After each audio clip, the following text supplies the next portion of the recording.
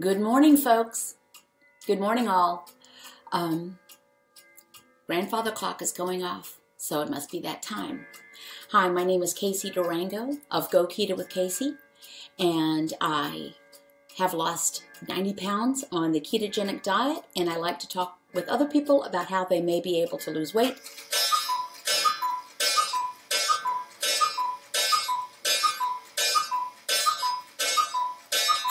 improve their health and regain control of their lives. For those of you who don't like the sound of a cuckoo clock or have misophonia and just don't like certain sounds at all, I do apologize.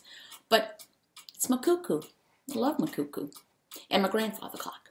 So anyway, today we're going to be talking about um, things that have come up often, I will say. And excuse me as I adjust a couple of things on my screen. My um, my crack editing staff um, couldn't come in today. And that is uh, me being facetious. I do not have a crack editing staff. So bear with me just one moment as I do a couple of things on my screen. But what we're going to talk about today is um, topics that come up frequently uh, it, it, with new people, with people who've been doing it a long time, just in general, out of general curiosity about the ketogenic diet quick a quickie. For those of you who are unfamiliar the ketogenic diet is one in which your body burns fat for fuel rather than glucose or sugar for fuel. The fat coming from ketones hence ketogenic. Um, it is um, a very elegant way of eating and your body's very happy doing this. And how do you start burning fat for fuel? You reduce your carbohydrate intake to a level um, at which your liver does not pump out glucose for fuel, and so we'll happily switch to burning fat for fuel. If anyone wants to let me know, I always kind of wonder because there's a bit of a time delay. Can you guys hear me? Can you see me? Is everything moving along or does it look really weird? Thank you. So, so that's that. Reduce your carbohydrate intake. You, for almost everybody, that point will, you will find success switching from burning glucose for fuel to burning fat for fuel at 20 total grams of carbohydrate a day or fewer. There can be some variation in that depending on who you are, your gender, your age, your size, your activity level, your level of insulin resistance, if any. So just keep that in mind. But as a general rule, 20 total grams a day or fewer will get you where you want to be.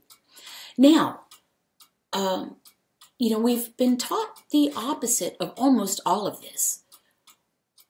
All of our lives. And not only all of our lives, all of our parents' lives. And I'm old. All of my mother's life, she was taught the opposite. Certainly, as a young mother, you know, trying to get food on the table for her quickly growing brood. I'm one of seven children. Um, you know, it was fill them up, feed them fast, and five sons, by the way. You know, it was always have two or three vegetables on the plate, brightly colored. Uh, make sure you have rice and or potatoes and or pasta and something like this. It was just, you know, we weren't taught the correct way.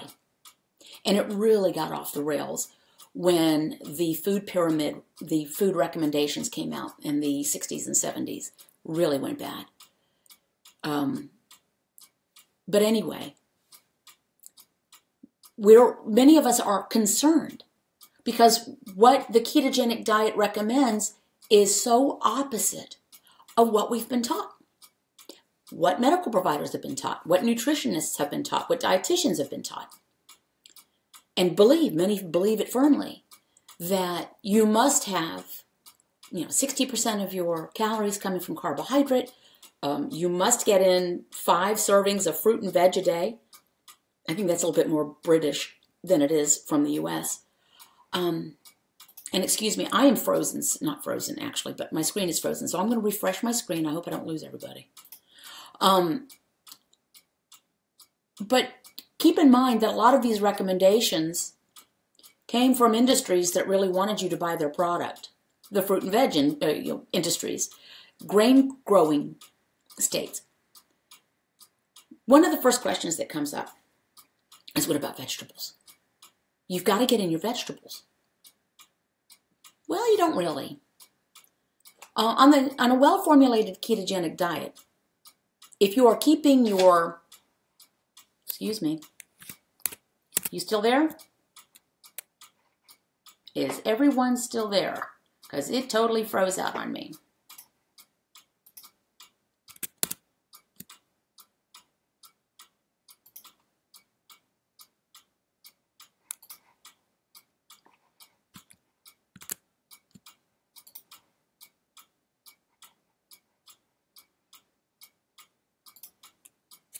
Y'all still there? Honestly, I can't see anything. And I apologize for this. This is the wonder of live television. Can someone shout out? Still there? Okay. Still here. Okay, great. Everything I'm doing is frozen, so I'm just I'm I'm on autopilot. Um you must get in vegetables. What if how do you where do you get your fiber if you're not eating vegetables? Um how do you keep going if you get what I mean, you know, about the constipation? Without vegetables.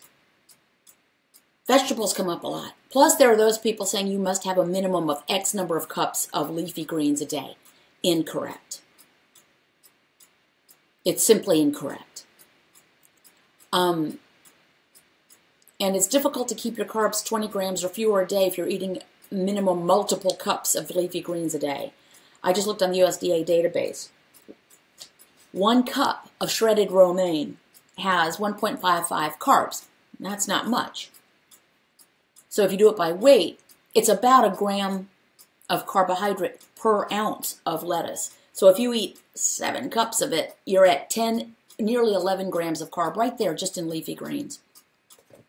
Anyway, carbohydrate is not an essential nutrient. Protein is. Fat is. Carbohydrate is not. Um, be, why is it not? Because we can manufacture our own. Essential nutrients are those which your body cannot produce on their own. Not to be confused with yes, we obviously can produce fat. We, fat is created from what we eat, but we our body won't make the fat out of whole cloth without the correct conditions going on. Our body can create glucose through the process of gluconeogenesis, which is happens all the time, and your body's perfectly capable of doing this. So for whatever glucose needs your body and brain have, body can make it on its own. Um, and as far as the other question about the fiber, how do you keep going smoothly? I have no issues. And let me tell you something. If there are a couple of nuanced things here, constipation is not just not pooing as often as you used to. Constipation is pain and inability to poo when you really need to poo. That's a different story. But just going less frequently, think about it. If your food is more efficient, it is producing less waste, literally. So you may find that you go less when you when your appetite is suppressed. Um, then you go less. You eat less, you go less. And also, keep in mind that you may have encountered constipation when you were a sugar burner. Lots of things change when you become a fat burner. Everything from getting off of asthma inhalers to joint pain diminishing to no more acid reflux think of all these things that happen when you're a compared, you know, you go from being a sugar burner to being a fat burner and all sorts of things change. So don't take for granted that if you have suffered from constipation previously as a sugar burner, that you will as a fat burner. Um, and and it's okay. If you like veggies, eat the veggies. Just realize that almost all of your carbohydrate will come from vegetables. So they're not unlimited. Contrary to what many of us believed, you know, you could have a Jethro Bodine sized bowl of salad and it didn't matter. It's like it was free food. Well, it's not, obviously. Um, there's a lot of carbs in there. Now, You don't have to follow the ketogenic diet and do this to be a perfectly healthy, happy, fit person. I'm sorry, lots of messages coming in. I'm just making sure everything's okay. If you hear that dinging. Um, so if you don't need to do this, don't. But I have a feeling if you're here listening to this, you have at least questions about it. Um, but do what works for you. If you like vegetables, eat them. You don't have to eat vegetables. And fruit, sorry, fruit is sugar. So that's a non-starter. Berries are different than fruit. Berries are a little bit different. You know, a strawberry is different than an orange, for sure. You know, berries have essentially no skin that you have to work through. Think of it this way. Nature makes it hard for you to get to the sugary things. Think of a pineapple. Nature really wants you to work hard to get to that sweet stuff because it shouldn't be something you eat all the time. A berry, you can walk by and pick it off a, you know, a bush or a bramble and eat it. So berries are a little bit different. They're not unlimited, but they're different than general fruit. Okay, so vegetables, constipation, fiber, chill. It's okay. I go many days without eating any vegetables. When I do eat vegetables, it's fairly limited, but the rule of thumb, and you don't have to micromanage this, if you're going to eat vegetables, make sure they're non-starchy, and that's in general vegetables that grow above the ground. Vegetables that grow below the ground are below the ground because that's their job is to be there storing sugar for the greens that are above the ground. But in general, that non-starchy vegetables, if you're going to eat them, limit them to something about the size of your fist or about one cup pre-cooked a day. And if you're going to have salad greens, not seven cups, about two maximum. Um, but don't stress over it. It's a very common question. Now, hair.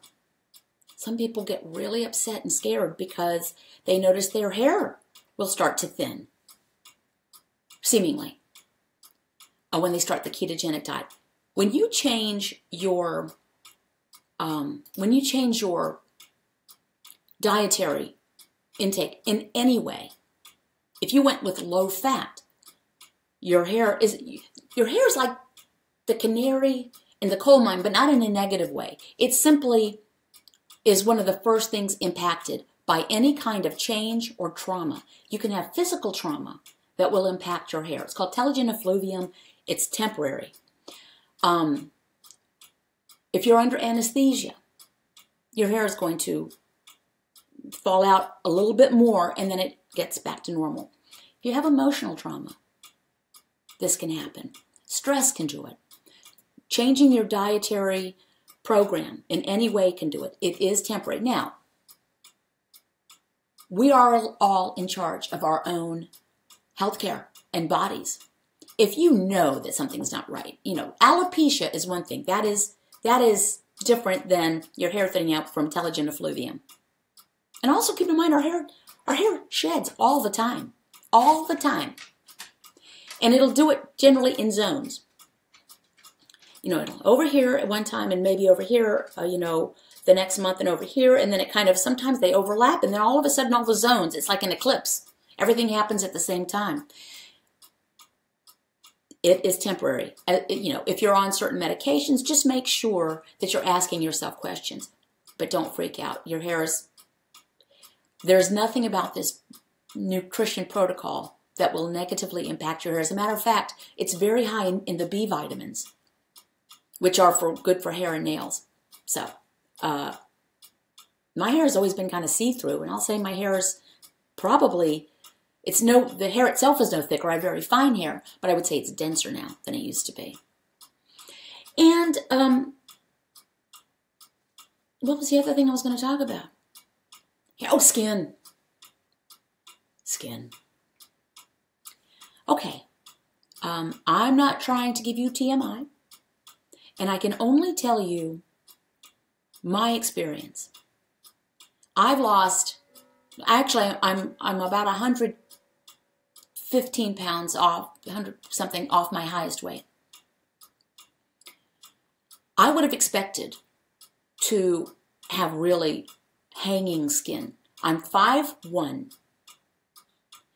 So that's like one and a third pounds per level per inch of height over my entire body of weight loss. And let's face it, it's mostly fat loss. So I would have expected to have folds of skin, hanging skin. My I've had two medical doctors who were examining me for different things. Said, "Where's your loose skin?" I can usually tell someone who's lost 100 pounds a quarter of a mile away with their clothes on. I don't have folds of skin. I have crepey skin. Um, but I'm 59 years old. Uh, I've had three children. The second one was 10 pounds. I was probably going to have crepey skin on my belly anyway, under the best circumstances. Now, why is this? I don't know. I'm very pleased with my skin as for what it is. You know, I like fewer wrinkles, but what are you going to do? Um, and I see someone talking about collagen. You know, Amanda, I'm not so sure about that. I think that's a coincidence. I don't. I don't think that's proven. A lot of people say put collagen in for skin and hair. Maybe I don't think. I just don't think there are any reliable tests about that. Um. So my skin situation could be, I you know, it, it's three years. It, it, I over the course of three years, I lost the weight. That's normal. It's not a fast rate. It's not a, you know, I'm not going to call it a slow rate. I'm going to call it a normal, gradual weight um, rate. Shoot, after the first 35 pounds, I was so thrilled. I didn't care. I, and I felt so much better. But anyway, so maybe it's because I didn't lose it, you know, as some people do with bariatric surgery, they lose a tremendous amount of weight in a few months. That was not my experience. It could be genetics. It is not autophagy, as far as I'm concerned, because I don't fast. I know a lot of people immediately go to that, where some theory about the cells kind of essentially consuming themselves. I don't fast. I uh, only in that if I'm not hungry, I don't eat, but I'm not arbitrarily not eating. Um, so, loose skin, everyone's situation might be different. I've heard from more people who've been pleased with the condition of their skin, even after losing a great amount of weight. Keep in mind, this is a very anti inflammatory way of eating. And our skin, just as our cells, you know, and our organs and joints and everything can benefit from reduced inflammation, our skin is our largest organ. And a, a woman from Duke who came to one of the Durham uh, support group meetings, uh, an esthetician, she's not a doctor, but she said she has a, a theory. She has no research on it, but having seen many of Dr. Westman's patients at Duke after they've lost weight, that's her kind of, she wonders if that's not it, the anti inflammatory properties of it. Another thing I would say if you are more concerned about having loose skin than feeling better and coming off of medications and staving off type 2 diabetes, then then don't do this. Uh, I'm not trying to, to sound um, like it's an easy answer, but I would have taken loose skin any day. If it had become a tripping hazard, I would have put my pennies together and saved up for some surgery. It's not a tripping hazard, by the way. You know, loose you know, always think back. I had a friend whose husband was a chain smoker and he gave up smoking cold turkey. This was years and years ago. She was older than I. And her husband put on like 25 pounds. And she said, Oh my God, I'm so concerned. He's getting fat. I'd rather he go back to smoking than get fat. When people say, Well, I don't want to, I don't want to lose skin. I don't want loose skin. I'd rather stay fat. It's a choice. I'd rather have loose skin and be healthy. But that's that's the, my take on these three things. Veggies, you don't have to eat them. If you are going to eat them, keep them limited to non-starchy vegetables. Hair, if it, if you notice it kind of shedding more, it's not and you're not going bald. It's you're shedding. If you're shedding more, be cool. It can happen. The The only time it really could be bad is if you are on a very protein restricted diet. Okay? Which, if you're following a well formulated ketogenic diet, you're not on a protein restricted diet. You, I don't know how much protein you should eat. I don't know how much I do eat. It's kind of self regulating if you listen to your body. Someone popped in with radishes are root vegetables. Are they okay? Can I give you a word of advice? Google is your friend. Not every food item can fit on a sheet of paper. Someone asked about is tilapia okay? It's not on the list. It's fish. You can eat it. It's fish. You can eat it. Google, I have no idea. We don't eat radishes. Google, how many, you know, oh, how about this? Alexa, how many carbs are in a cup of radishes? The Dietary Guidelines for Americans recommends that carbohydrates Oh. make up 45 That's okay. Forget about Alexa. Total daily calories. She plugged into the daily. Alexa off, dummy. Um. Anyway, Google it. And and I am going to say something um, about the keto after forty group. Um, people who hold and make a photograph of the front of a package and say, "Are these okay?" I'm going to start being a little strict on that. It's not the front of the package that matters; it's the back of the package. Look at the back of the package and look at the carbs. Total. Do not subtract out the fiber. And if it's high in carbs, it's not okay. We need to use our brains and put a little energy in this. We need to have a little bit of our own skin in the game in this. It's not hard, it's simple to follow. But you do have to answer some of your own questions. Janice, why are you laughing? Oh, yeah, Alexa got it right. No, she didn't. She said 45% of your calories should come from carbs. That's the American diet um, guidelines. Excuse me, Atticus has to go out. So, moral of the story don't sweat it. Don't don't sweat whether you're going to be constipated. Don't anticipate problems. And try to try to not listen to all those around you who might say you're going to die very soon if you eat this diet. Okay? And another word of advice, because I've seen several posts about this and people message me. What do I do? I, people, you know, are impressed with my weight loss. When I tell them when I do it, they give me a hard time. So, don't even ask what you should do about that. There's nothing you should do about that. For one thing, nobody gets a vote on what you eat. It's none of their business. You don't have to share what you're doing if you don't want to. And if they ask a question and you give them an answer and they give you pushback and say, Well, you asked me, I told you. Let's move on to another topic. You don't have to, to convert the world. And don't be upset if someone says, Oh, that's terrible. You're going to, your cholesterol's going to go up and you're going to faint dead away. So, chill.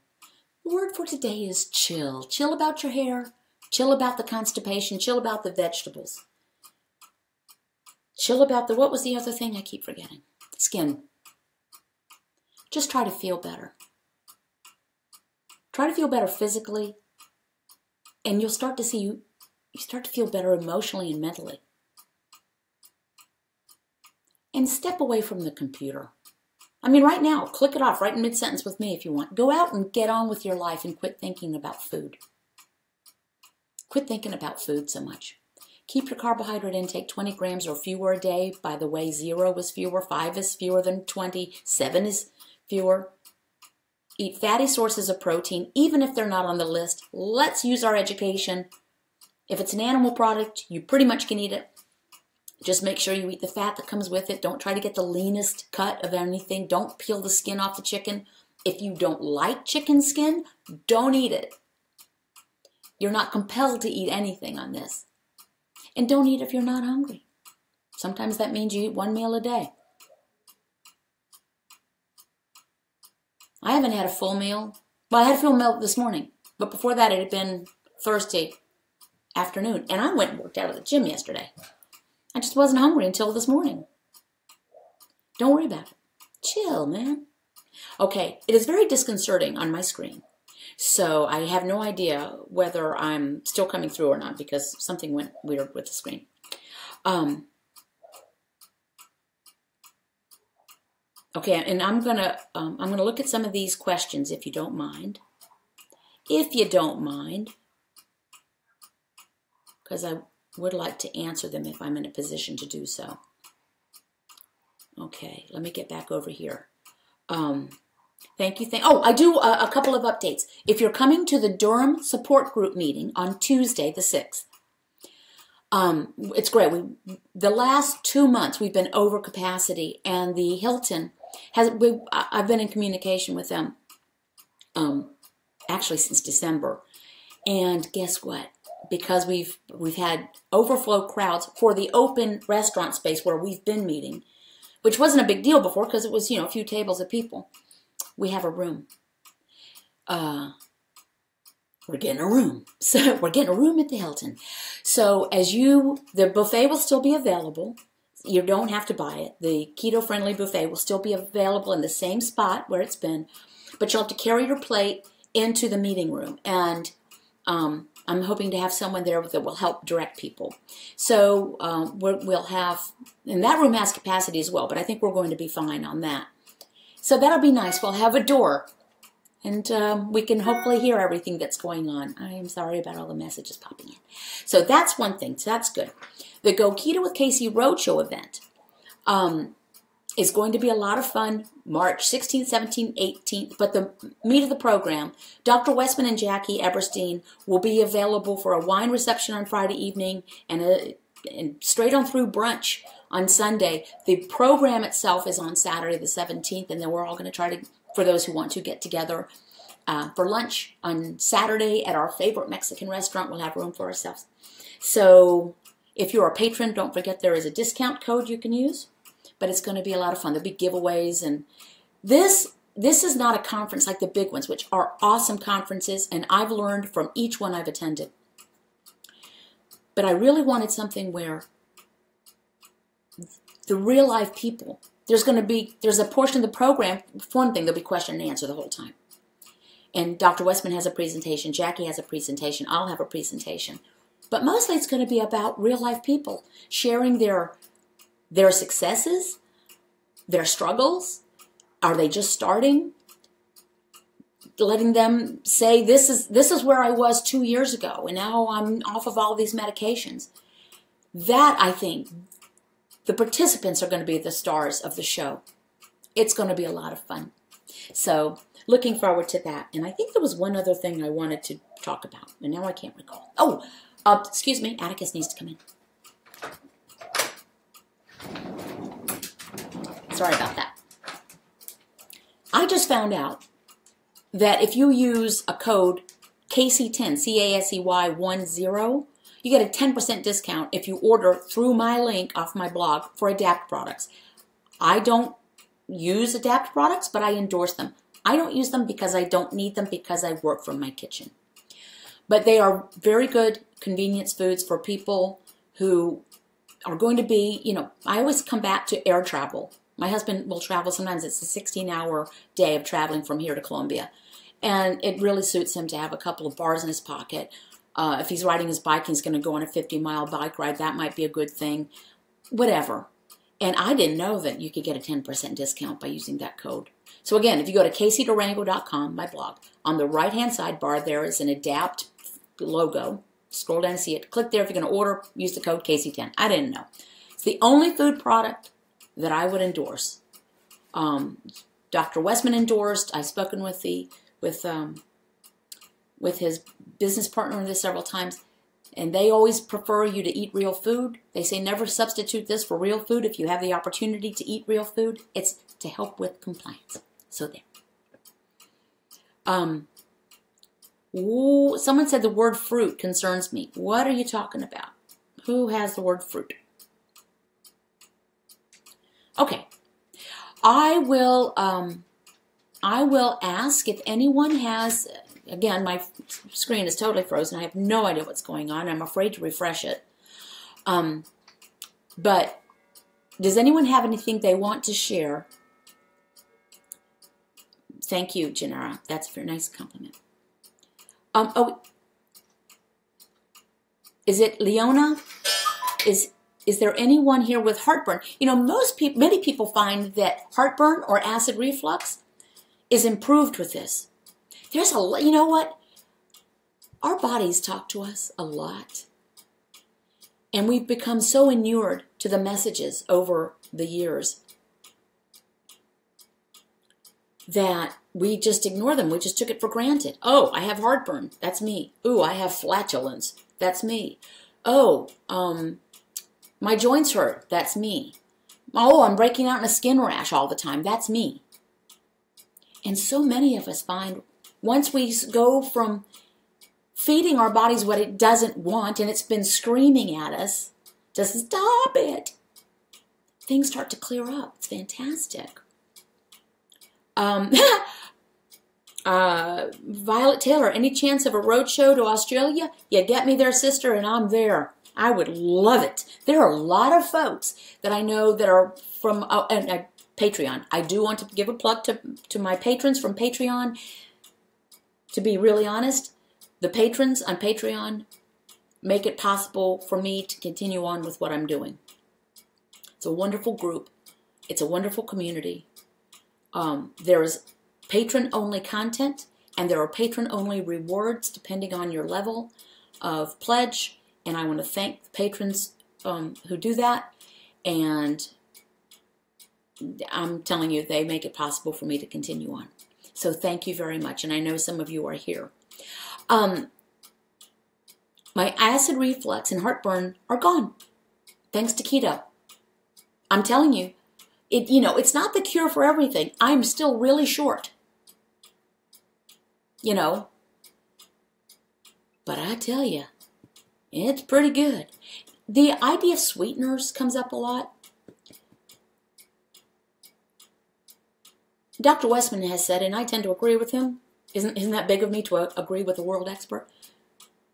The whole discussion about sweeteners is a big distra distraction and very possibly instigated by the sugar industry, which is really under a microscope now.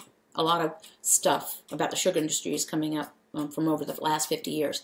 We use Splenda. People are appalled. Um, hey, Stacy, how you feeling, Stacy?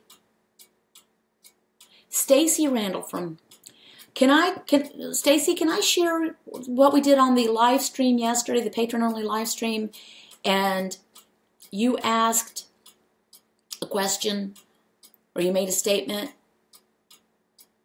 about cravings? Can I share that? I don't want to put I don't want to put anything out there. Um. Okay. I'm look okay. So going so quickly. Okay, Stacy, I'm hoping that it's okay. You said you're okay. Go ahead. Thank you.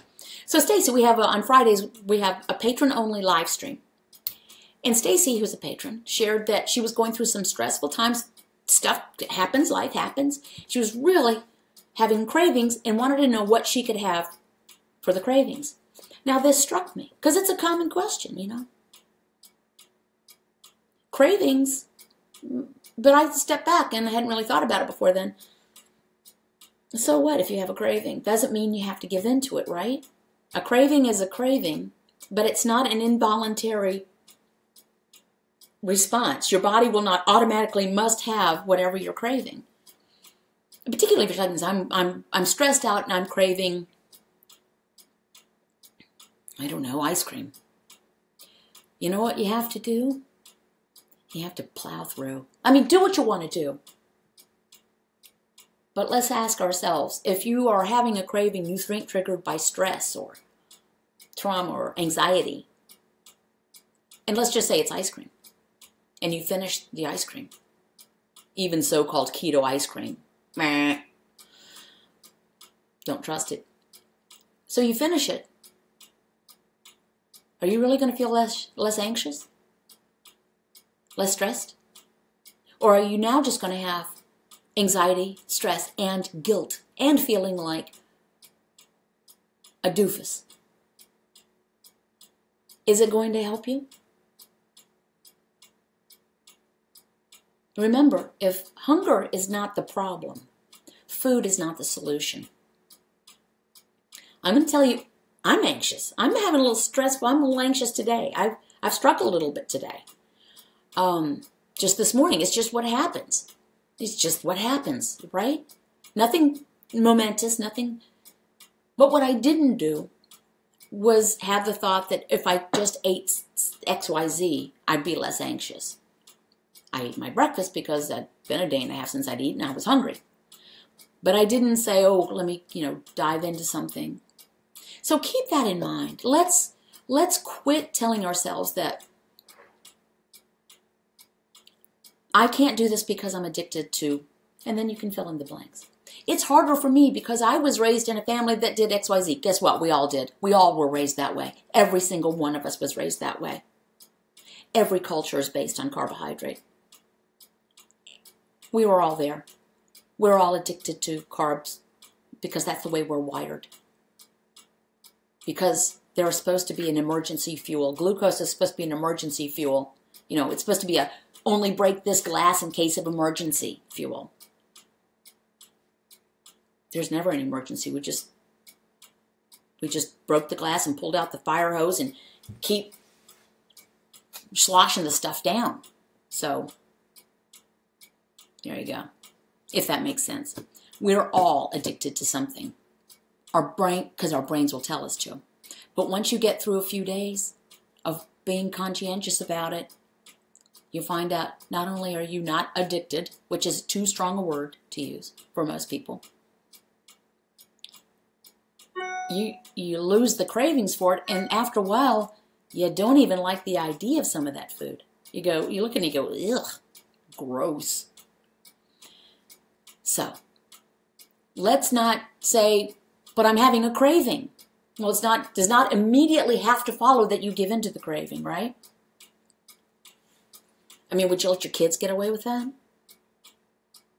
I really had a craving to cut algebra. No, you would not allow that. your, significant, your significant other might have many cravings.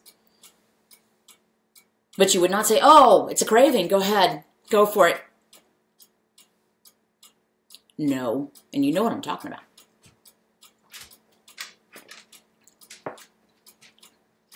Okay. Live stream freezes. I don't know what's going on here. I'm so sorry. Rachel Vaughn O'Brien just being a patron. Thank you. And I'm sorry about the live stream. I think what's happening is when people making are making comments one way or the other, something pops up on my screen and it freezes me. Not comments underneath, and I don't even know where these comments are coming from. It might be comments from Keto. I don't know. I don't know. Um, Okay, I'm going to start to wrap this up. And yeah, uh, Helena, absolutely. Recovering alcoholics have cravings too, but if you're going to give in, you're no longer in recovery. Right?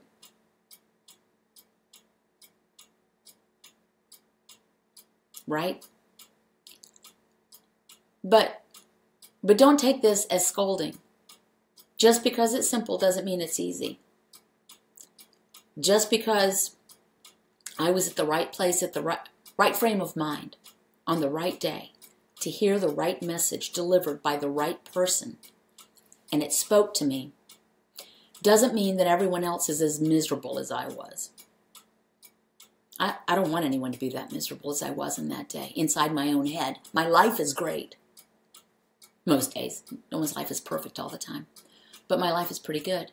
But I was not happy in my head. Certainly not happy in my skin. So I don't want anyone else to be at that starting point. Skip over that if you can. Okay, someone said, yes, she has. What have I done? Okay, I don't know what I did. I was just ready, yeah. So, you know, don't beat yourself up if you strumble. Trademark, a word we came up with in Patreon. It's when you, one day I was trying to talk before I had enough coffee. And I was, I was trying to say if you struggle, and then you stumble. Because sometimes you can struggle and then you don't stumble. But sometimes you struggle and then you stumble, and that's a strumble. But I, I, the word just came out that way. I didn't mean to. If you stumble, you know, there's no point in rehashing it. But also don't say, it's okay if I Strumble 15 times every month. You know, then, then you need to adjust your thinking.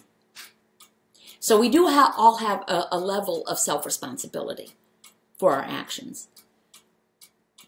But guilt is a useless, useless emotion. Okay, Bethany, I'll have a keto wonderful weekend. I did talk about um, thinning hair. You'll have to listen back. I did talk about it. Janet DeFilio Adams, thinning hair, I talked about it. It's temporary. It happens it happens when any you whenever it can happen when you change your dietary habits either way, low fat, low carb, whatever. If you have a physical trauma, a mental, uh, emotional trauma, mental trauma, if you go under anesthesia, and sometimes it's just the zones of your hair are just shedding all at the same time. But I have spoken about it. I spoke about it at the beginning. Okay, yes, strumble. I like that word. Need to trademark that. Strumble Stillskins. I think someone might have said that on. Strumble Stillskins. Might have said that on Patreon. Okay, thank you very much, guys. I do have uh, a session in just a little bit with someone. Um, and I want to thank you for allowing me into your homes again. Sorry for any technical issues. Like I said, I'd fire my my crew, but then I'd have to lay myself off. Um, and if you can make it to the Durham Support Group meeting on Tuesday with Dr. Eric Westman and myself moderating, it should be a has been a really good turnout. I learn something new every time. We'll have a private room. The Go Keto with Casey Roadshow in March. If you have any questions about it, let me know. If you're a patron, you do get a discount. And if you want a discount on Adapt products, the code is KC10. Who knew? But you have to follow the link that's from my website which is caseydurango.com. Look in the sidebar and click to adapt. Again, I don't use them, but I endorse them. It's the only product I would let my husband have if he, if he needed a convenience food. None of those others would I do. Okay, guys. Um, thank you so much. Talk to you next weekend, I hope. And let's hope we're supposed to get snow again. Oh well, we'll see what happens. Thanks a lot, guys. I truly do appreciate it.